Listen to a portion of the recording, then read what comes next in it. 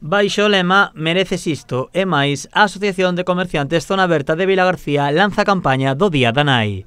O eslogan é unha homenaxe ás mulleres traballadoras, ao coincidir o Día da Nai co 1 de maio, Día dos Traballadores. Bueno, el lema é Mereces isto e máis, non? Porque creemos que, bueno, que eh, había que darle unha vuelta tamén al, al logo, sempre poníamos Día da Nai, Día da Nai, E bueno, queríamos cambiar un pouquiño. Nada, como sempre, vai a consistir nun sorteo que celebraremos o día 2, porque, bueno, sabedes que este día tamén coincide, o primeiro de maio coincide co, co Día do Traballador, é un pouco, bueno, un compendio de cousas, entón, queríamos destacar un pouquiño a eso, non? Os clientes recibirán unha rifa por cada compra que realicen nos comercios asociados.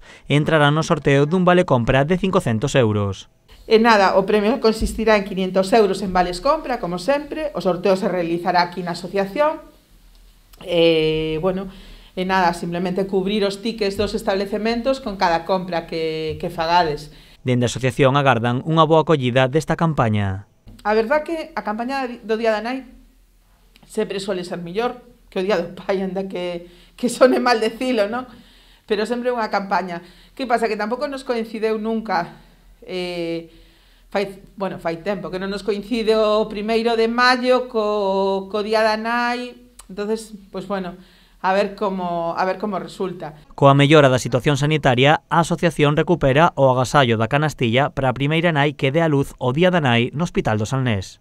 Falando co, co Hospital do Salnés, nos dixeron que sí que xa era posible facer o tema da canastilla que levábamos, pois bueno, casi tres anos sin facelo, eh, bueno, polo tema do COVID, eh, pero este ano sí, entón, pois bueno, entregaremos unha canastilla á primeira mamá que dé a luz ese día no, no Hospital de Salné. Dende a asociación agardan que a mellora da situación sanitaria tamén invite a xente a participar na campaña e a comprar no comercio local.